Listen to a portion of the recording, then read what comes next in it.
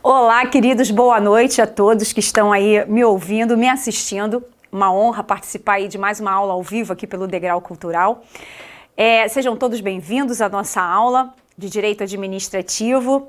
Você que está se preparando para o concurso da Polícia Federal. Hoje o tema escolhido é um tema quente, um tema muito importante diante do nosso cenário aí, do cenário nacional.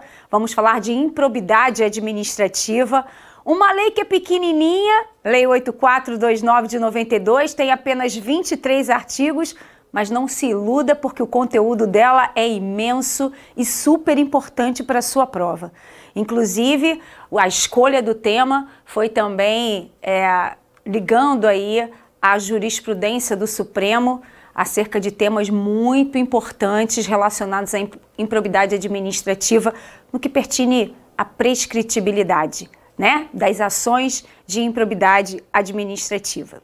Mas sejam todos bem-vindos, que a nossa noite seja muito proveitosa, que a gente, que eu consiga passar aí para vocês temas importantes para a sua provinha da Polícia Federal. Veja que nós vamos trabalhar artigos da Lei 8429, não vamos ficar lendo, vou mencionar os artigos e vou chamar a atenção do que é importante porque você precisa ficar atento à literalidade dos artigos, ter intimidade com o conteúdo da lei, porém a nossa aula vai ser enriquecida com entendimentos doutrinários, com jurisprudência, né? Para que a gente fique com uma aula bem interessante que possa te ajudar de verdade no dia da sua prova.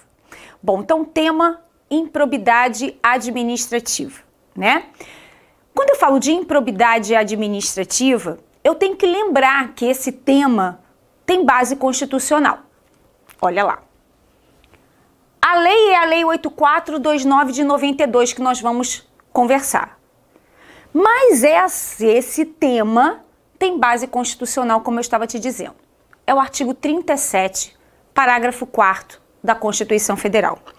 O 37, parágrafo 4 fala da improbidade e apresenta um rol pequeno, com quatro sanções que seriam aplicadas àquele que pratica o ato ímprobo.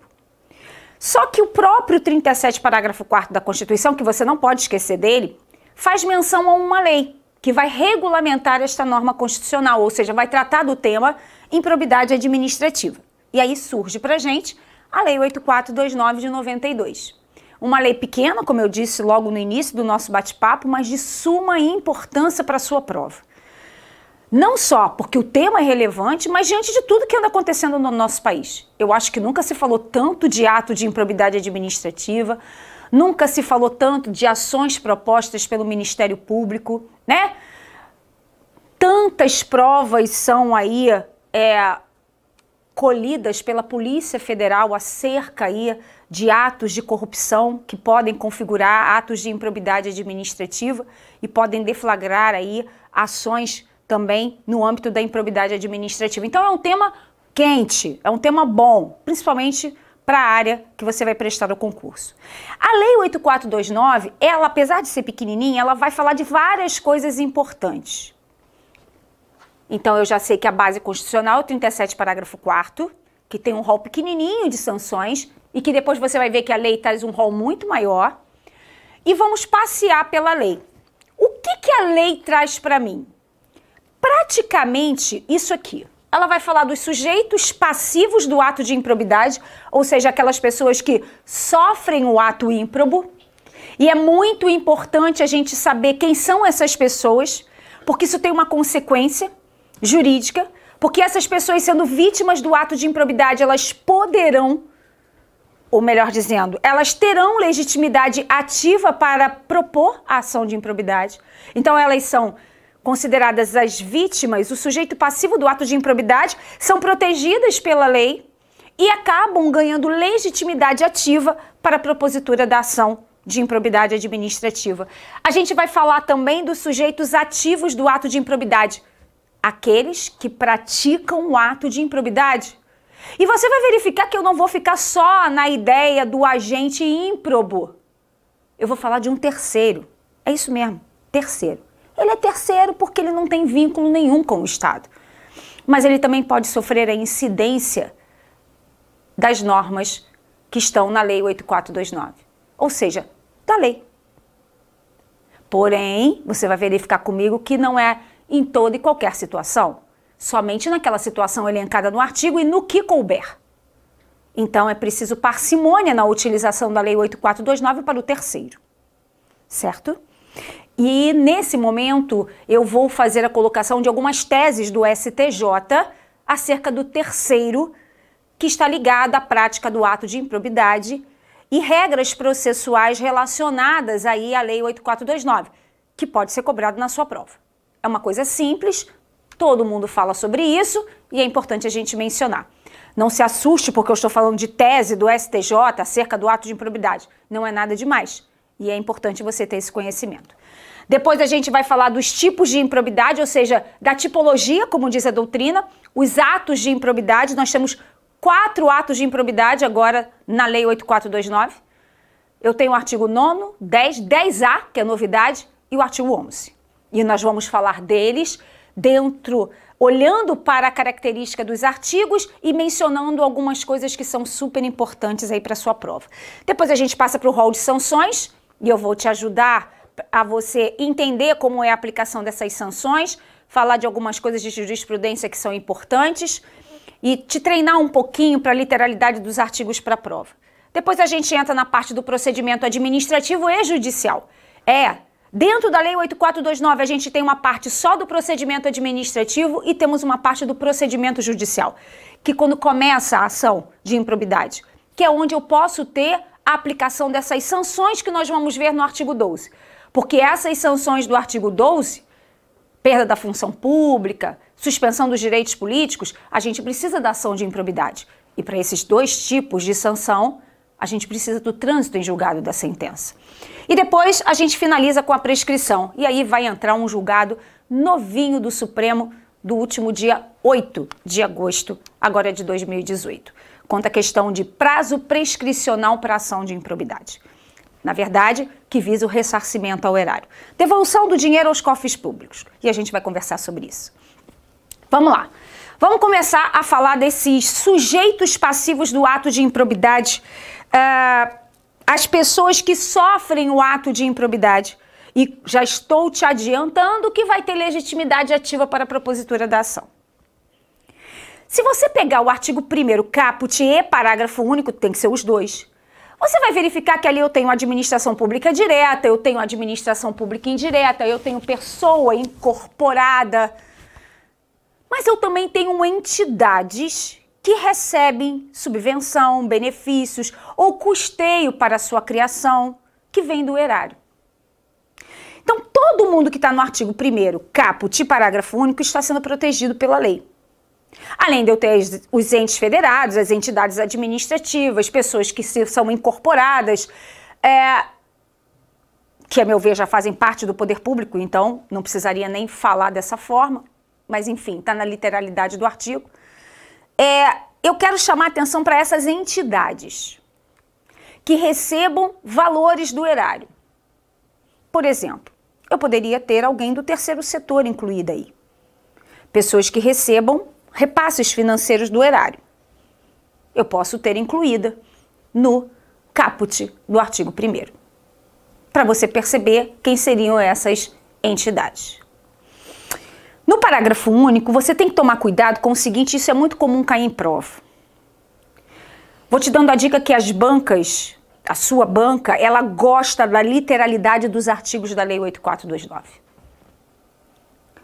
Gostam também de casinhos, que a gente chama de questões objetivas ou discursivas que trabalham uma problemática, mas elas gostam da literalidade da lei. E o parágrafo único do artigo 1 ele vai falar das entidades que recebem subvenção, mas também fala das entidades que recebam custeio do erário para criação com menos de 50%. E aí eu quero que você preste atenção na parte finalzinha do parágrafo único, porque a proteção para essas pessoas que recebam menos de 50% de custeio vindo do erário, para sua criação, a proteção seria somente focada nesse valor, nesse valor que uh, ela receberia. Então é como se o caput, é como se o caput fosse uma proteção maior, porque não há uma ressalva, não há uma ressalva do quanto de proteção, e enquanto que no parágrafo único relacionado às entidades que recebam menos de 50% de custeio do erário, ali a proteção é menor. A proteção é só em relação ao que vem do erário, aquele, aquele, aquele valor relacionado ao menos 50%. Então toma cuidado com isso. Essa parte finalzinha do parágrafo único pode ser uma pegadinha na prova, porque o caput não faz essa ressalva, mas o parágrafo único faz. Então cuidado com a literalidade dele. Guarda aí essas pessoas que são chamadas de pessoas jurídicas interessadas. É assim que a lei fala e é assim que a doutrina menciona. Pessoas jurídicas interessadas. Interessadas em quê? Em se proteger, propor a ação de improbidade. Guarda isso, porque isso vai ser importante quando a gente chegar lá no artigo 17. Sujeitos ativos do ato de improbidade. Aqui eu quero muita atenção. Quando eu falo do sujeito ativo do ato de improbidade é aquela pessoa que pratica o ato e que vai estar no polo passivo da ação de improbidade administrativa. Percebeu? Eu estou falando da pessoa que pratica, pratica o ato ímprobo e que vai estar no polo passivo da ação de improbidade, porque foi ela que praticou o ato de improbidade. É o agente ímprobo. Primeira chamada de atenção para você. O artigo 2 estamos nele agora, que fala do agente ímprobo, traz uma conotação genérica. Veja que a lei, quando conceitua agente público para ela, para a Lei 8429, agente público seria, resumindo, toda pessoa física que exerce a função em nome do Estado, de forma transitória ou definitiva, mediante remuneração ou não. E ali a lei menciona uma série de vínculos que essa pessoa pode ter com o poder público. Vamos por partes. É gênero, eu não estou falando de espécie, eu estou falando de agentes públicos numa, conce numa concepção genérica, ampla, porque aí entra muita gente. Vou te dar um exemplo. Mesário e jurado. Cara que se inscreve lá para ser jurado no tribunal de júri. O mesário que recebe a cartinha agora para as eleições de outubro.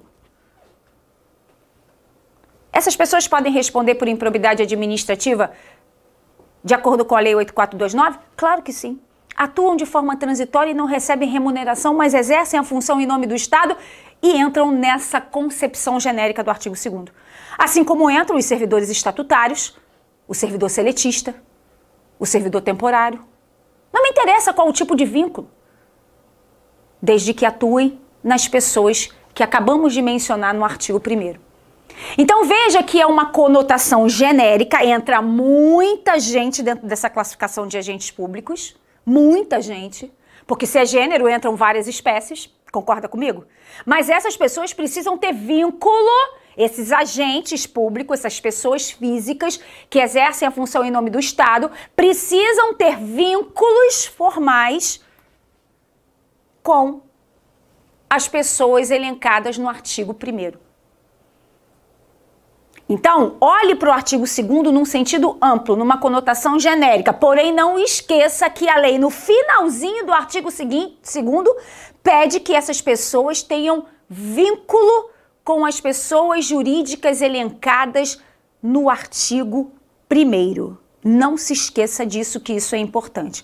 E veja que ali está escrito nomeação, contratação, designação, tem uma série de vínculos, mas precisa ter vínculo com as pessoas do artigo 1.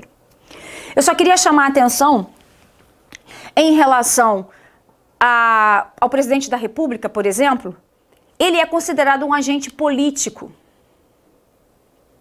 E aí, de acordo com o artigo da Constituição, o artigo 85, inciso 5 da Constituição, o presidente da República, quando ele pratica ato de improbidade, na verdade ele está praticando crime de responsabilidade. E aí, ele vai se sujeitar à lei a sua lei de crime de responsabilidade. Ele não vai se sujeitar aos ditames da Lei 8429 para o Supremo, por exemplo. ele vai se sujeitar à lei de crime de responsabilidade.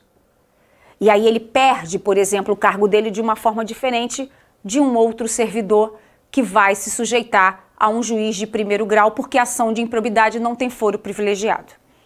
Tivemos um artigo do Código de Processo Penal que tentou dar foro privilegiado às ações de improbidade, mas foi declarado inconstitucional. Isso já faz tempo.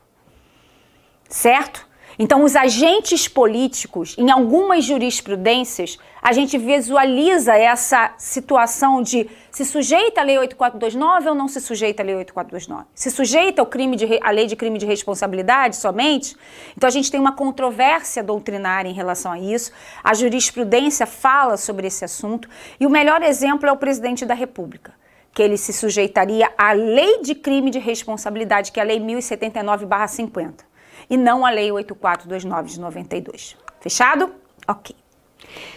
Então não esqueça desse conceito amplo de agentes públicos para o artigo 2 da Lei 8429. Não esqueça que essas pessoas têm que ter vínculo, esses agentes, com as pessoas jurídicas do artigo 1. Veja que é tudo com, combinado, né? Mas além do artigo 2, queridos. Opa, caiu a canetinha. A, a, aula ao vivo é assim, né? Faz barulhinho, foi a caneta que caiu. Nada demais, estou aqui. o artigo, além do artigo 2 a gente tem um artigo 3 E esse eu quero que tu tome muito cuidado. Eu costumo brincar com os meus alunos e digo assim: ó, eu quero fidelidade canina com o artigo 3 Como assim, professora? eu quero fidelidade canina, sabe aquela que tu não duvida? É, é aquela mesmo aquela fidelidade ao, ao, à literalidade do artigo 3 Por quê? Quando eu olho o artigo 3 da Lei 8429, eu tenho a lei dizendo para mim que o, o terceiro, que não é agente público, então ele não tem vínculo nenhum com o Estado, ele vai se sujeitar à Lei 8429 no que couber, e eu vou te explicar esse no que couber, quando ele induz, quando ele concorre, quando ou quando ele se beneficia direta ou se beneficia indiretamente. Guardou as quatro? Quando ele induz, é o diabinho que bota lá no ouvido do, do agente público. Ah, vai! Aproveita que tu exerce uma função pública, todo mundo faz isso, faz também. Induziu. Colocou a ideia na cabeça do agente. Ou ele concorreu, praticou o ato de improbidade junto. Foi um coautor. Ou ele apenas se beneficiou direta ou até mesmo indiretamente. Cuidado, hein? Cuidado, porque na ação popular só fala de beneficiário direto. Mas aqui na lei de improbidade administrativa, direto e indireto. Fica atento, hein? Então, esse terceiro só vai se submeter à Lei 8429 se ele induzir, se ele concorrer, se ele se beneficiar direta ou indiretamente. Só nessas quatro hipóteses. Aí caiu numa prova uma vez o seguinte: a banca perguntava assim: o terceiro que não é agente que não é agente público se sujeita à lei 8429, salvo quando? Dois pontos. Aí vem a primeira letrinha, letra A. Quando ele induz, responde. Quando ele concorre, Responde. Quando ele se beneficia diretamente? Responde. E quando ele se beneficia indiretamente? Responde. Letra E. Quando ele causa dano ao erário. Aí o aluno ansioso por causa da prova, tá nervoso já. Lembra que as, lembrou que tem um ato de improbidade que causa dano ao erário. Aí ele olha para a questão e fala assim: agora, qual é a resposta? A resposta é essa, meu anjo. É a letra E. Porque quando um terceiro que não tem vínculo nenhum com o Estado causa um dano ao erário, ele vai responder numa ação de ressarcimento. Mas ele não vai se sujeitar à Lei 8429, porque eu repito, para ele se sujeitar à Lei 8429, ele tem que induzir, ele tem que concorrer, ele tem que se beneficiar diretamente ou indiretamente, uma das quatro coisas. Então, se ele causa dano ao erário sozinho, ele não vai se sujeitar à Lei 8429. Perceba, amados, percebam o seguinte: o cara tem um conluio com o agente. Se, ele, se a situação fática se encaixa nessas quatro situações do artigo 3 o terceiro se sujeita à Lei 8429, sofre influência da Lei 8429. Fora isso, não. E aí eu te apresento duas teses do STJ acerca do terceiro no ato de improbidade. O STJ tem umas 14 teses acerca do tema. E ele diz o seguinte: ó, não pode a ação de improbidade, ele não fala ó, não, tá? O ó foi eu que coloquei. o STJ diz: a ação de improbidade não pode ter no polo passivo da demanda só o terceiro. O STJ não aceita o ajuizamento da ação de improbidade só em face desse terceiro. Por quê? Porque quando você faz a leitura do artigo 3 você vai verificar que precisa dessa conjugação do terceiro com o agente. E aí vem uma outra tese do STJ, para deixar as coisas bem claras, que não se trata de um litisconsórcio passivo necessário. Então veja, são duas teses. O STJ não admite a propositura da ação de improbidade só em face do terceiro. E ele também avisa, não é caso de litisconsórcio passivo necessário. Mas o terceiro sozinho no polo passivo não pode, justamente pela interpretação que a gente faz do artigo 3 E essa ideia no que couber, eu vou te dar alguns exemplos bem simples. Imagina que o terceiro vá se sujeitar à Lei 8429, do jeitinho que manda a jurisprudência e a lei. Você acha que poderá ser aplicado a ele a perda da função pública? Claro que não! O cara não tem função! Hum, é verdade. Mas ele poderia ter os direitos políticos dele suspensos? Ah, poderia. Ele poderia sofrer uma multa? Sim. Mas uma multa 100 vezes o valor da remuneração dele? Não, porque ele não recebe nenhuma remuneração como contrapartida pecuniária do poder público, porque ele não é agente público. Entendeu? Então, eu preciso que você tenha em mente isso. Tatua na mente. Isso. O terceiro, para responder pela Lei 8429, ele tem que se sujeitar, melhor dizendo. Você tem que entrar na literalidade do artigo 3 tá? Induzir, concorrer, se beneficiar direta ou indiretamente. E se for caso dele responder, sozinho no polo passivo ele não pode estar. Mas também o STJ abana e diz, ó, oh, não é litisconsórcio passivo necessário.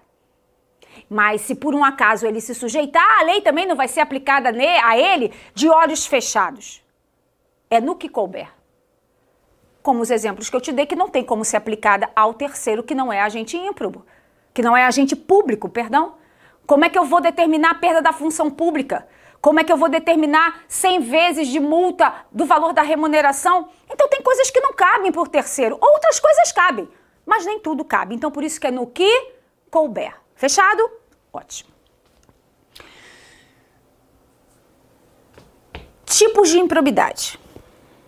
Aqui tu tem que tomar muito cuidado para a prova. São quatro artigos na Lei 8429. Artigo 9, artigo 10, o 10A que é novo, que entrou em vigor dia 31 de dezembro de 2017, apesar de ter sido acrescentado na Lei 8429 antes. Uh, e o artigo 11. E aqui eu quero muita atenção. Primeira coisa que eu vou te dizer. O rol do artigo 9, 10 e 11.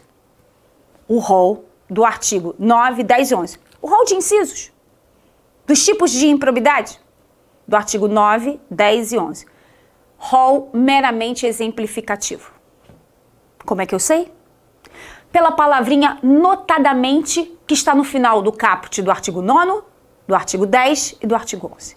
Professora, peraí, isso cai em prova? Cai! Cai, meu amor. Pode acreditar na prof, cai. A palavra notadamente diz para mim que o rol é meramente exemplificativo. Isso já caiu em prova objetiva e eu já fiquei à frente de uma prova discursiva e isso também caiu. Então tem que tomar cuidado porque isso pode ser cobrado pela banca. Artigo 10A não tem. Então é um rol taxativo, até porque o 10A só vem no caput, que a gente vai falar dele.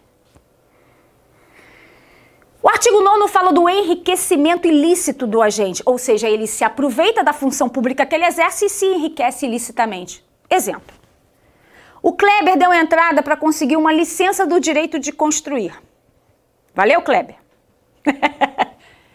preencher os requisitos. Tu sabe que licença é ato vinculado, que na altura do campeonato, se esquecer isso, eu puxo a tua orelha, eu descubro onde tu mora, hein? Então, se ele preencher os requisitos, ele tem direito subjetivo à licença. Concorda comigo? Kleber vem buscar a licença do direito de construir. Pega o agente honesto e diz para ele assim: pô, Kleber, tu tem até direito a essa licença aí, mas sabe o que acontece? Tu vai ter que me fazer rir. Vai ter que me dar uma graninha, senão a licença não vai ser entregue. Oi? É isso mesmo, amigo. Faz-me rir, molha a minha mão, senão a licença não é liberada. Pô, mas pelo amor de Deus, eu preciso para licença. Isso. Pode ser até uma licença, um alvará de funcionamento de um determinado estabelecimento comercial. O cara só vai entregar a licença se molharem a mão dele. Queridos, esse exemplo horroroso que infelizmente a gente vê pra caramba aí fora, tá configurando um ato de improbidade que gerou o enriquecimento ilícito desse agente. Ele se aproveitou do exercício da função pública e se enriqueceu ilicitamente. Amor, acorda. Para isso precisa de dolo, porque sinceramente eu nunca vi ninguém se enriquecer ilicitamente por culpa, por falta de cuidado. O cara tem que ter a intenção de. Então, no artigo 9, que fala de enriquecimento ilícito, eu preciso do elemento subjetivo dolo. Pode ser uma conduta comissiva ou omissiva, porém precisa de dolo. O cara vai se aproveitar da função pública que ele exerce e se enriquece ilicitamente. Artigo 10, atenção. O artigo 10 fala do dano ao erário. É um outro ato de improbidade. Também tem o rol exemplificativo. Aqui temos um detalhe que cai toda hora em prova.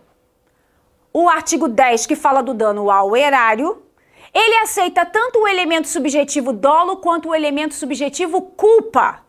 É o único ato de improbidade que aceita, além do dolo, a culpa. Exemplo. Eu sou uma servidora que trabalha com operações financeiras para o Estado. Por uma falta de cuidado, eu causo um dano ao erário. Cláudia, você vai responder por improbidade administrativa configurada no artigo 10. Não, pelo amor de Deus, eu não tive a intenção. Eu juro. Eu juro que eu não tive a intenção. Problema seu, querida. Você teve falta de cuidado não tomou os cuidados necessários, causou dano ao erário, você pode responder por improbidade, porque o artigo 10, eu vou repetir, é o único ato de improbidade que aceita o elemento subjetivo dolo e culpa. Entendido? Conduta comissiva ou conduta omissiva, mas aceita dolo e culpa. O artigo 10A que é a novidade, é a questão de aplicação e concessão de benefícios tributários de forma indevida.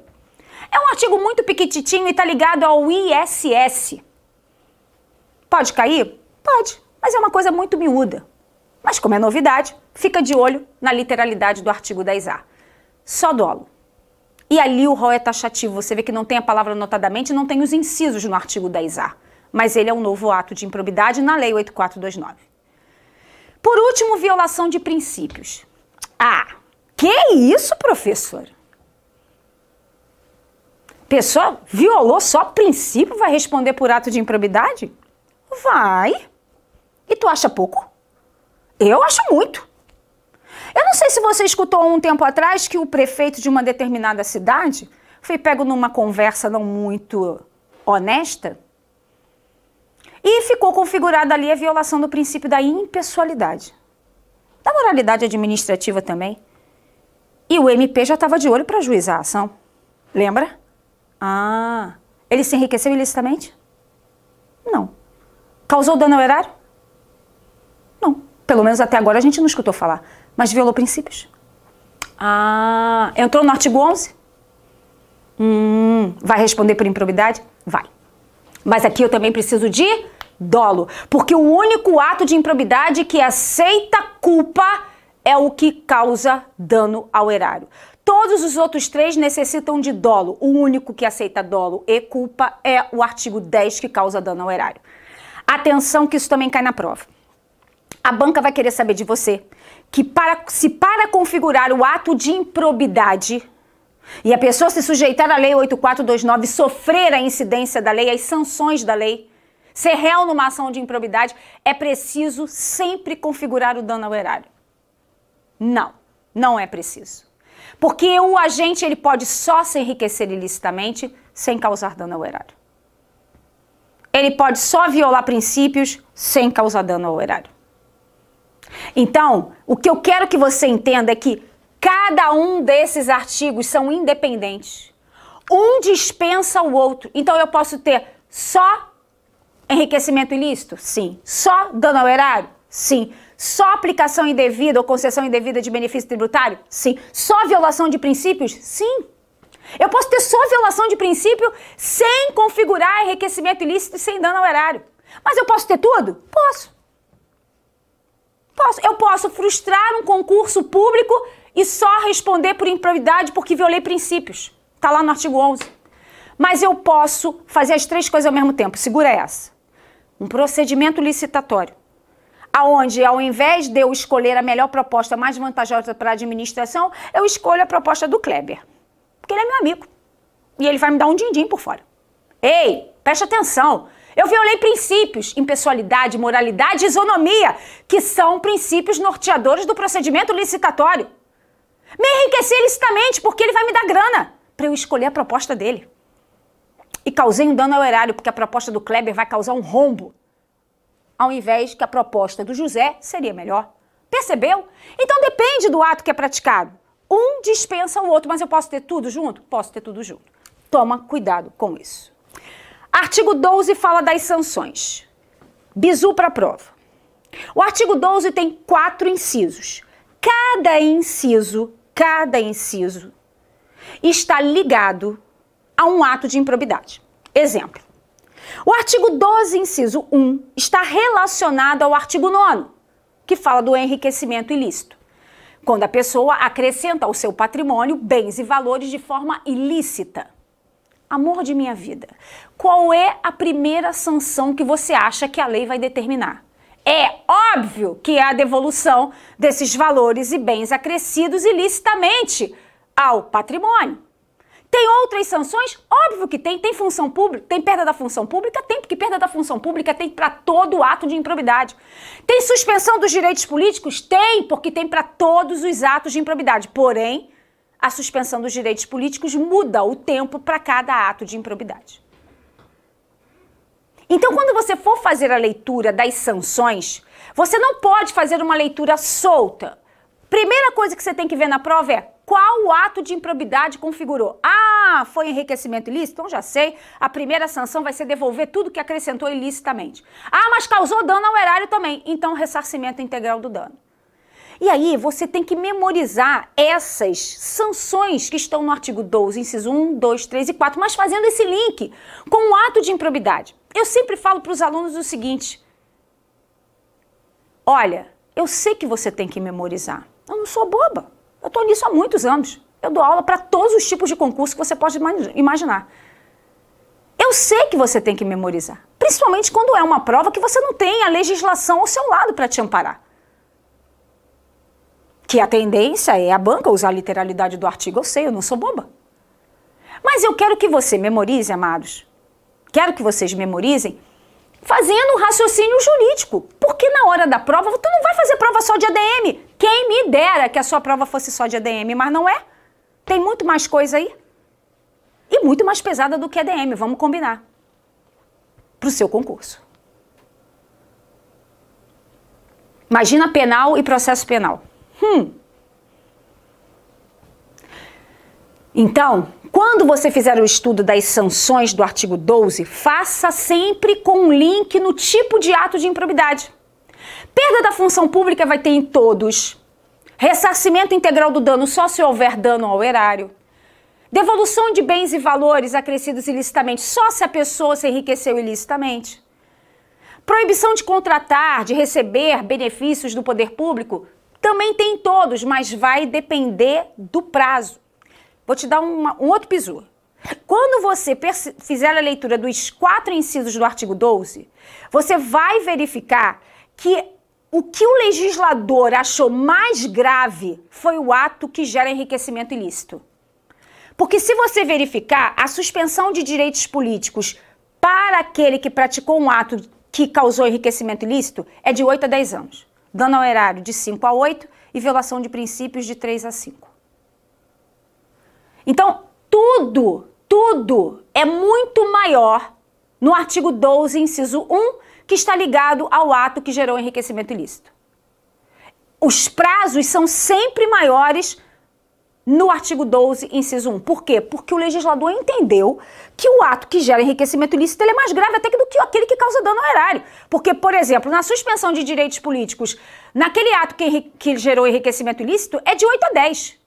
Quando eu vou para o dano ao erário, é de 5 a 8. Quando viola princípios, é de 3 a 5. A questão também de não poder mais receber benefícios do poder público começa com 10 anos, depois baixa para 8 e depois baixa para 5.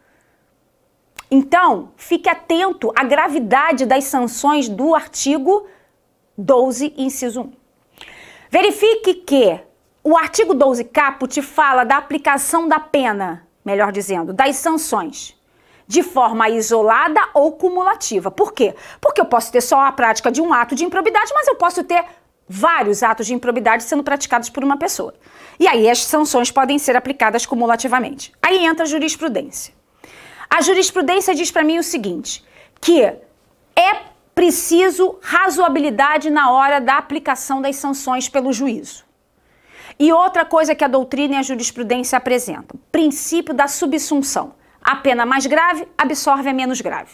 Exemplo: digamos que essa pessoa tenha praticado o ato que gerou enriquecimento ilícito dela, uh, causou dano ao erário e, claro, violou princípios. E aí ele vai ter a sanção de suspensão dos direitos políticos. Tu não me marque nunca na prova cassação, hein? Porque o artigo 15 da Constituição Federal proíbe a cassação dos direitos políticos. É suspensão. Cuidado com ão.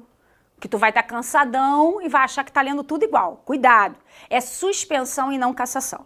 Então, digamos que ele praticou os três atos de improbidade. Aí, enriquecimento ilícito, de 8 a 10. Dano ao erário, de 5 a 8 princípios de 3 a 5. Meu amor, se pegar o máximo dos três, vai dar 23 anos de suspensão de direitos políticos. Praticamente caçando direitos políticos desse cara. Então, o que, que acontece? A mais grave absorve a menos grave. Vamos bater 10 de suspensão de direitos políticos, que é melhor. Entenderam?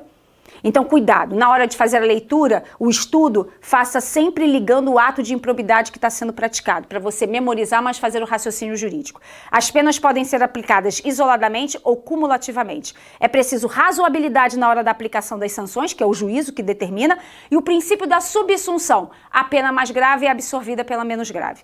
Ao entendimento do STJ, que é pela teoria do pedido implícito, Há um entendimento do STJ que, se o autor não pedir determinada sanção, o juiz poderia aplicar.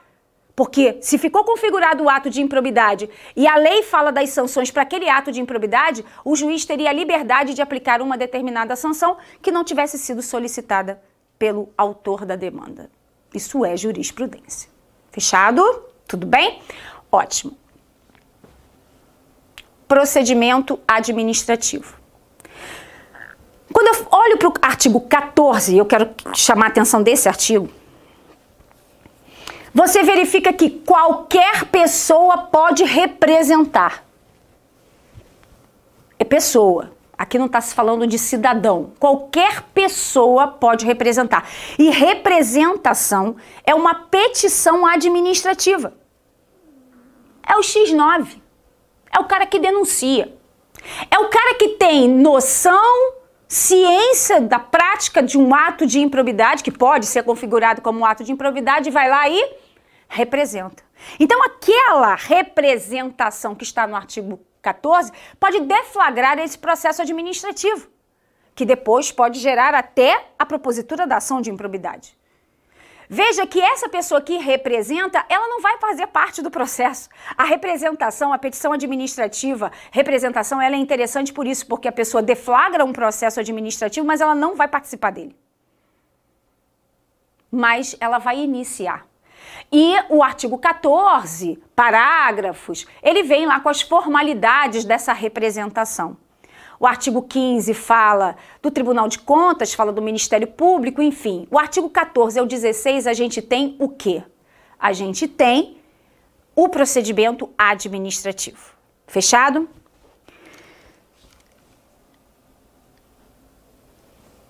Quando eu olho o artigo 16, parágrafo 1, tem a palavrinha lá escrito sequestro. Isso me faz lembrar o seguinte: atenção às medidas cautelares que podem ser solicitadas, de acordo com a Lei 8429. Quando eu olho o 16, parágrafo 1, que ainda está dentro do procedimento administrativo, fala do sequestro. Quando eu olho o artigo 7, parágrafo único da lei, artigo 7, parágrafo único, fala de indisponibilidade de bens. E quando eu vou para o artigo 20, parágrafo único, fala de afastamento cautelar. Vou repetir. 16, parágrafo 1, fala de sequestro. Artigo 7, parágrafo único, fala de indisponibilidade de bens. E o artigo 20, parágrafo único, fala de afastamento cautelar. A ação de improbidade pode ter pedidos de medidas cautelares. E eu tenho no artigo 16 falando de sequestro. Então, cuidado com esses três artigos que falam de medidas cautelares dentro da Lei 8429.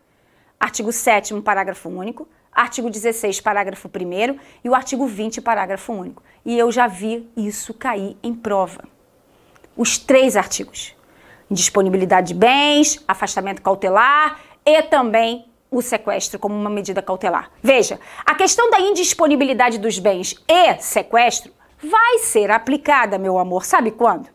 Quando o ato de improbidade configurar enriquecimento ilícito e dano ao erário.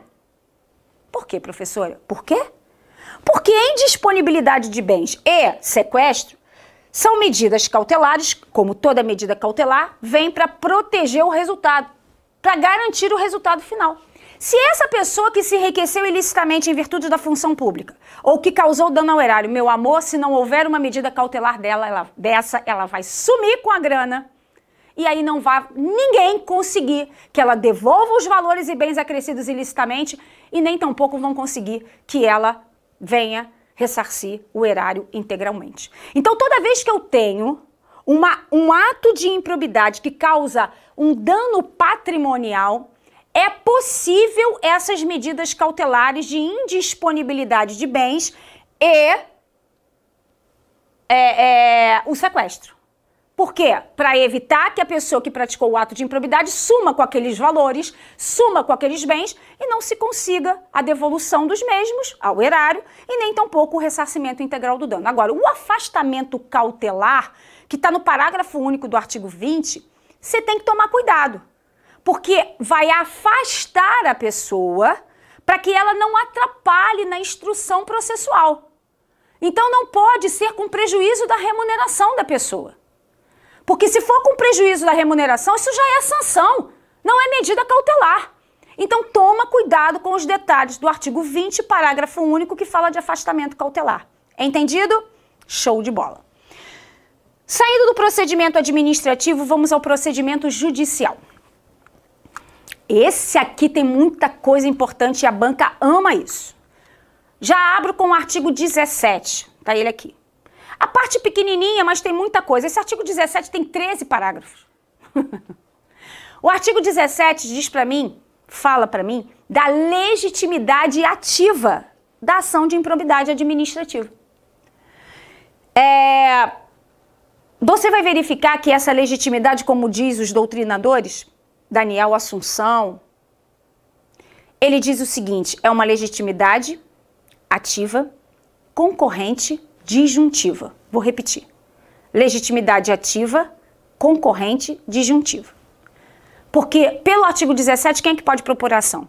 O MP e a pessoa jurídica interessada. Lembra? Aquela galerinha lá do artigo 1 caput, ah, que sofreu o ato de improbidade. Ela tem legitimidade para a propositura da ação. Então a legitimidade ela é concorrente. Ou é o MP ou é a pessoa jurídica interessada. A banca vai te perguntar se essa ação é exclusiva do Ministério Público. Não é. Ela é legitimidade ativa, concorrente e disjuntiva. Cada um pode propor.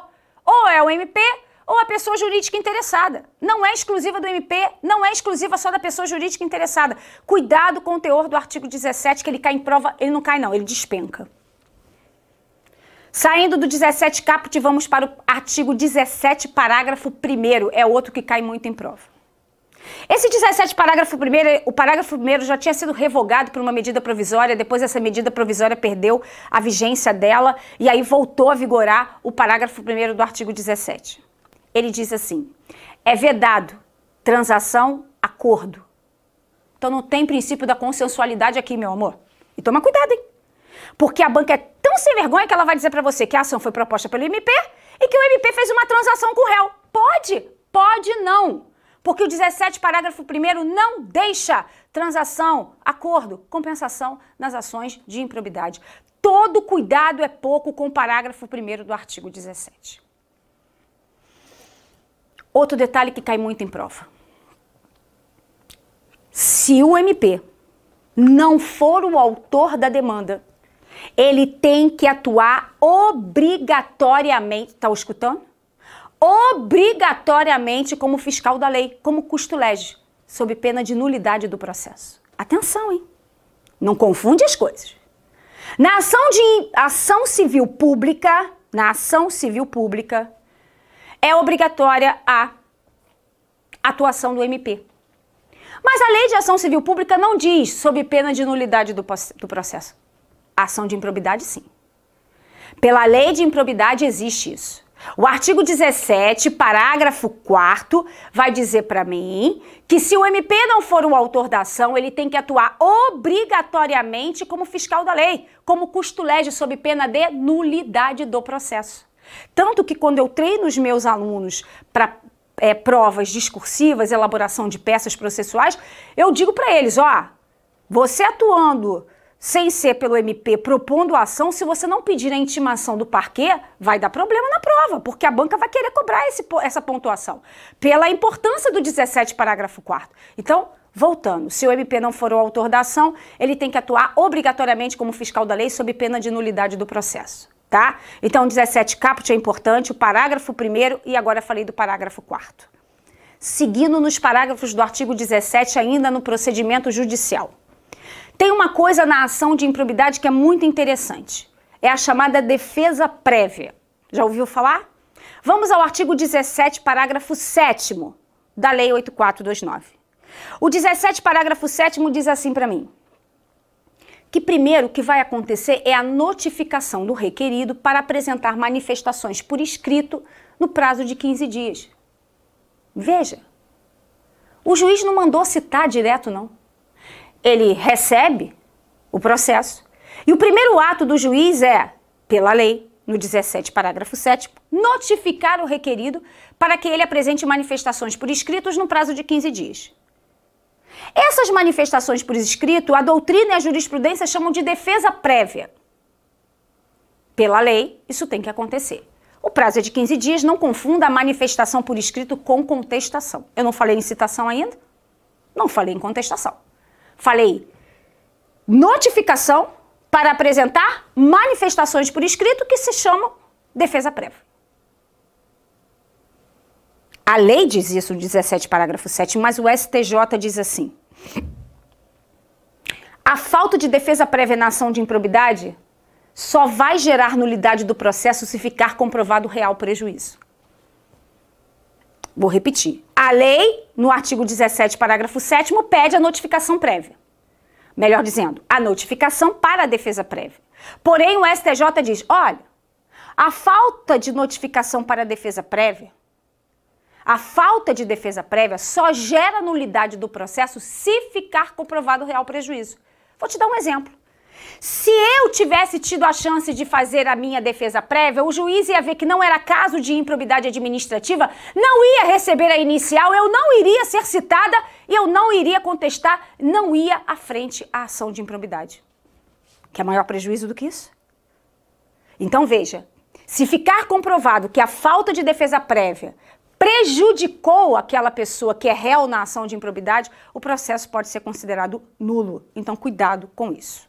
Agora, pode acontecer também o seguinte: ser feita a defesa prévia, bateu no juiz e ele entendeu, é caso de improbidade. Aí, nesse momento, ele recebe a inicial e manda citar o réu agora para ele apresentar contestação. É o caso do 17, parágrafo 8 e do parágrafo 9. Então a citação não vem logo de cara. Primeiro vem a notificação para apresentar defesa prévia. Depois é que, se o juiz, olhando as manifestações por escrito, entender que é caso de improbidade, aí ele recebe a inicial e cita para a pessoa contestar. Ok, é o artigo 17, parágrafo 8 e parágrafo 9 ainda. Que se tiver dúvida, hein? E se o juiz ficar na dúvida, hein? Se recebe ou não recebe a inicial, ai meu Deus, eu não sei se é improbidade, se não é improbidade. Ei, ei, ei, ei, seu juiz, vem cá, vou te contar um segredo. Na dúvida, recebe. Princípio do indúbio pró societar. Na dúvida, recebe a inicial. É melhor receber em prol da sociedade. Não é indúbio pró réu, é indúbio pró societar. Na dúvida, recebe a ação. Recebe a inicial, manda citar, deixa ele apresentar a contestação. Se isso não for caso de improbidade, no meio do caminho, para mas não pode deixar de receber a inicial na dúvida. Na dúvida, recebe. Também é um posicionamento do STJ e da doutrina. Indúbio pro società. Tá legal? Fica atento a isso. O 17, parágrafo 13, é, o parágrafo 13 do artigo 17 é uma novidade também na lei. E lá fala daquele ato novo de improbidade administrativa. E o 17, parágrafo 13, também fala das pessoas jurídicas interessadas que poderiam propor a ação de improbidade. Então, depois dá uma lida no 17, parágrafo 13, ok? Uh, o artigo 21, ele é muito interessante no inciso 2. O 21, inciso 2, diz lá que a ação vai ser proposta, vai haver a incidência da lei, ainda que o Tribunal de Contas aprovar, por exemplo, as contas. E eu já vi uma questão de prova em que a pessoa ia se defender e dizia: não, não, eu não posso responder por improbidade porque minhas contas foram aprovadas pelo Tribunal de Contas. E aí? Qual é o problema? Pode aprovar, pode rejeitar, e você, se tiver que responder pela Lei 8429, vai responder. Então, atenção ao artigo 21, inciso 1 e 2. O inciso 2, ele cai muito em prova, tá? Que é a questão relacionada ao Tribunal de Contas aprovando ou rejeitando as contas. Isso não impede a questão da ação de improbidade. E para a gente ir finalizando e trazendo a novidade aí do Supremo, artigo 23 que fala de prescrição. Primeiro eu vou trabalhar o artigo 23 e depois eu falo do julgado do dia 8 de agosto, quarta-feira passada. Quando eu olho para o artigo 23, eu tenho os prazos prescricionais para a propositura da ação de improbidade. O 23, inciso 1, fala de cargos eletivos, fala de cargo em comissão, fala de função de confiança. E diz lá, após o término, né? Cinco anos após o término do mandato, do cargo em comissão, é o artigo 23, inciso 1. Aqui no 23, inciso 1, o que, que eu quero chamar a sua atenção? Reeleição. No caso de reeleição, o prazo de cinco anos só começa a contar no final do último mandato. Ah, mas o Joãozinho praticou o ato de improbidade no primeiro mandato. Ok, ele praticou no primeiro, mas ele foi reeleito só vai começar a contar os cinco anos no final do segundo mandato. Fechado? É a observação do 23, inciso 1. O 23, inciso 2, não te diz o prazo. Não fala lá cinco anos. Mas a gente vai fazer um link com uma lei que é importante para a sua prova. A Lei 8.112-90. Ou leizinha boa também de estudo e boa para a prova. A Lei 8.112-90, o artigo 142, inciso 1, artigo 142, inciso 1 da Lei 8.112, diz que o prazo prescricional para a ação disciplinar, no caso de demissão, é de 5 anos. Então, o prazo seria de 5 anos. Quando você olha o 23, inciso 2 da Lei 8429, ele faz um link com uma lei específica disciplinar que, pra, que fale de demissão. Então, o que, que você vai fazer? No 23, inciso 2, você vai combinar 23, inciso 2 da Lei 8429, que a gente está estudando. Você vai combinar com o artigo 142, inciso 1 da Lei 8.112-90. E o prazo também vai ser de 5 anos. O inciso 3, ele não me chama muita atenção. Está lá a literalidade, foi acrescentado pela lei que fala de parcerias voluntárias, que é o marco regulatório do terceiro setor. Não tem nada demais. É exatamente a literalidade do inciso 3 no artigo 23. Mas o que eu quero falar para você é a questão do ressarcimento ao erário. A gente tem esse prazo prescricional no artigo 23, mas sempre se falou o seguinte, ó, ação que visa o ressarcimento ao erário, quando a ideia do ressarcimento ao erário é o ponto central, é imprescritível. Por quê? Pela leitura do 37, parágrafo 5 da Constituição. Então, as ações de ressarcimento ao erário imprescritíveis pelo 37, parágrafo 5 Nós tivemos um julgado do Supremo há um tempo atrás, que foi um recurso extraordinário, repercussão geral, que é uma condição, né, um requisito de admissibilidade do recurso extraordinário, é, que falou da prescritibilidade das ações de ressarcimento ao erário por ilícito civil e que passou a ter um prazo prescricional, mas não englobava improbidade administrativa. E aí ficou para ser debatido a questão do ressarcimento ao erário por um ato oriundo de improbidade administrativa. E no, na quarta-feira passada, no dia 8, nós tivemos o, o julgado final. Essa ação é, já tinha entrado para julgamento, mas depois foi suspenso e voltou o julgamento no dia 8. E o que, que ficou determinado? Imprescritibilidade das ações que visam ressarcimento ao erário por ato de improbidade, aquele ato de improbidade que causa dano ao erário, mas seria imprescritível somente aquela que foi feita de forma intencional. Então, se houve dano ao erário de forma intencional, com o elemento subjetivo dolo, seria imprescritível. O julgado não falou por culpa, só falou por dolo. Então, o julgado foi do dia 8 de agosto de 2018, quarta-feira passada. Não deixe de fazer a leitura desse julgado. Qualquer lugar que você abrir, você vai encontrar esse julgado. Então, imprescritibilidade ação de ressarcimento ao erário. No caso de improbidade, dano ao erário, somente se for por dolo é que será imprescritível. Foi um julgamento confuso, porque dois ministros voltaram atrás e aí o negócio ficou diferente do que a gente achou que fosse acontecer. Então não deixe de verificar esse julgado, tá? Do dia 8 de agosto de 2018, falando da imprescritibilidade, mas dano ao erário por dolo. Culpa não, lá o julgado não fala de culpa. Fechado? Bom, Vamos fazer um exercíciozinho? Olha lá. Um servidor público federal dispensou licitação fora das hipóteses previstas na lei, o que motivou o MP ajuizar a ação de improbidade administrativa, imputando ao servidor a conduta prevista no artigo 10, inciso 8 da Lei 8429 segundo o qual constitui o ato de improbidade administrativa qualquer ação ou omissão, dolosa ou culposa, que enseje perda patrimonial, desvio, apropriação, malbaratamento ou dilapidação dos bens públicos, notadamente o ato que frustrar a licitude de processo licitatório ou dispensá-lo indevidamente. Com base nessa situação hipotética, julgue os itens que se seguem. É a sua banca, hein? O ca caso o MP também ajuize a ação penal contra o servidor pelo mesmo fato, a ação de improbidade ficará sobrestada até a prolação da sentença penal a fim de se evitar bis in idem? Errado, claro que não. Olha aí a separação das instâncias. Quando você olha lá o artigo 12, faz bem uma cisão né, com a área penal e a área civil aqui da natureza da ação de improbidade. Então é claro que não se confunde as coisas. Independência, tá? Então, errado aquilo que está considerado aí na questão 1. A questão 2 Perdão, volta aqui. Caso o MP não tivesse ajuizado a referida ação, qualquer cidadão poderia ter ajuizado a ação de improbidade subsidiária? Não, nada disso. Então tá errado também essa questão. Eu quero chamar sua atenção para a gente finalizando do seguinte: ação popular, ação de improbidade administrativa e ação civil pública compõem um microsistema de tutela coletiva estão dentro de um grande tema chamado controle da administração pública. Então, tem que tomar muito cuidado com as características de cada ação. A legitimidade ativa é totalmente diferente. A ação popular é qualquer cidadão. Ação civil pública, o rol é multifacetário. Várias pessoas podem propor ação civil pública. O artigo 5 da Lei de Ação Civil Pública diz para mim: e na ação de improbidade, quem é que eu tenho propondo a ação?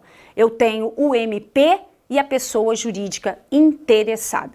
Então, tomem cuidado com a Lei 8429, mas também não deixem de fuçar um pouquinho, na, olhando para o edital, essas ações de natureza coletiva. Por que, que essas três ações compõem um microsistema de tutela coletiva? Porque elas vão proteger o patrimônio público, a moralidade administrativa, que é um direito difuso, tá? Então, Cada uma tem a sua peculiaridade, quanto à legitimidade, quanto às sanções, quanto o pedido da ação. Então, tudo isso tem que ser levado em consideração quando a gente estuda os artigos que falam de ação popular, a lei que fala de ação civil pública, a lei que fala de ação popular e a lei que fala de ação de improbidade administrativa. Ok? Então, a gente é, fechou aí o tema de improbidade administrativa. Eu falei que era uma lei pequenininha, mas a gente tinha várias coisas para falar dentro dessa lei, né? É, é uma lei que é muito importante para a prova. Ela sempre vem nos editais de concurso público, principalmente no âmbito federal. É, diante de tudo que vem acontecendo no nosso país, eu acho que nunca se deu tanto valor ao tema né, de improbidade administrativa. Então, assim, fica muito, fique muito atento a essa lei, tá? E assim, treine bastante com os exercícios da banca relacionados a esse tema. E você vai ver que praticamente tudo que a gente falou aqui é o que normalmente a banca cobra. Tá ok? Beijo no coração, boa noite, excelente prova, aproveita aí o tempo que tem de estudo ainda e até o próximo encontro.